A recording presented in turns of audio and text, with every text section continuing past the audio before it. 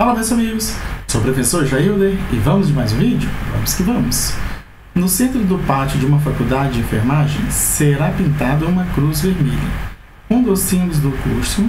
Para estimar a quantidade de tinta necessária, pintor, os pintores precisam calcular a medida da área que será preenchida com tinta.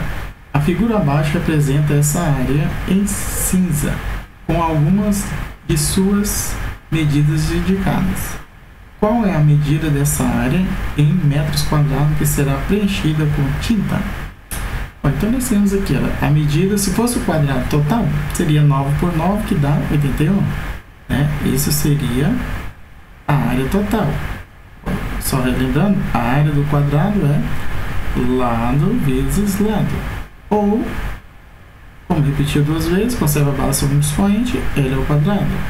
Mas nós queremos saber, vamos só calcular aqui só para representar, seria 9 metros vezes 9 metros. Logo, isso aqui iria, daria 9 vezes 9, 81 metros vezes metro, nos dá metro ao quadrado. Não é isso que nós queremos. Ó. Quer saber? A figura abaixo representa essa área em cinza com o espaço de suas medidas. Nós queremos saber a parte de vermelho. Então, se cada quadradinho é 3 por 3, ó, nós temos 3 vezes 3, isso aqui vai dar 9.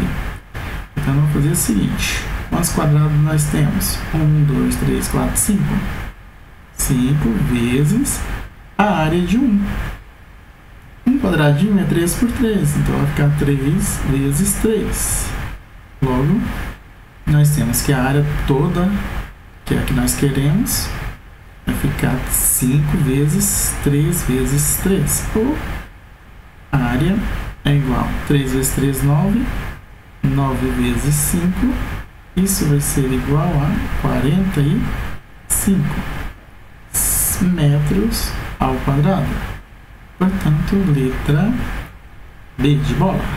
Até o próximo vídeo.